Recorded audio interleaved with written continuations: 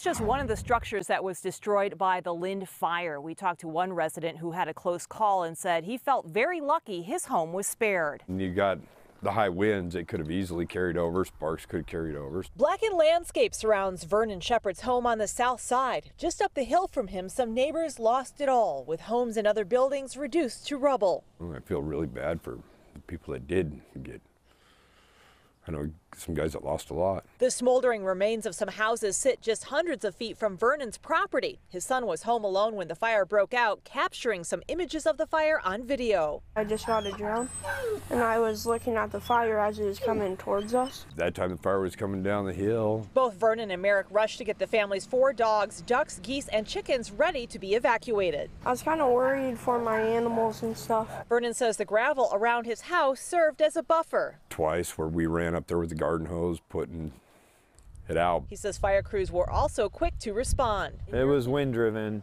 and really hard to rough terrain. Um, to get to. The fire chief says Friday morning crews were still monitoring hot spots. He says the rainy spring helped to grow lots of fuel for the fire to feed on, with 25 mile per hour winds pushing the flames into now charged properties. He praised firefighters for saving what they could. Volunteer firefighters are amazing.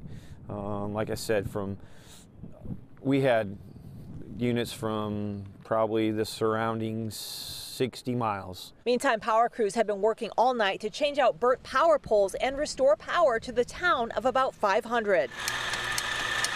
The owner of the Wheatland Coffee House says she was working at her second job when the fire broke out. It is heartbreaking. Yeah, I didn't know. I don't know a lot of people, but just seeing it and seeing the home go up in flames. She offered water and refreshments to those who were working on recovery efforts Friday. I decided to offer free coffee and drinks to the firefighters, EMS, and the Avista workers today, and it'll go on until the local community's been served. You know, I just a small thing that I could do. Heather says that's one of the reasons she likes working and living in a small town. You're welcome. The sense of community. They organized water, um, supplies, everything for the firefighters and the people affected. There was one local firefighter that was treated for smoke inhalation in Spokane. We're told he is back home and doing just fine and is now currently resting. Reporting in Lind, Jennifer Dowling, Fox 13 News.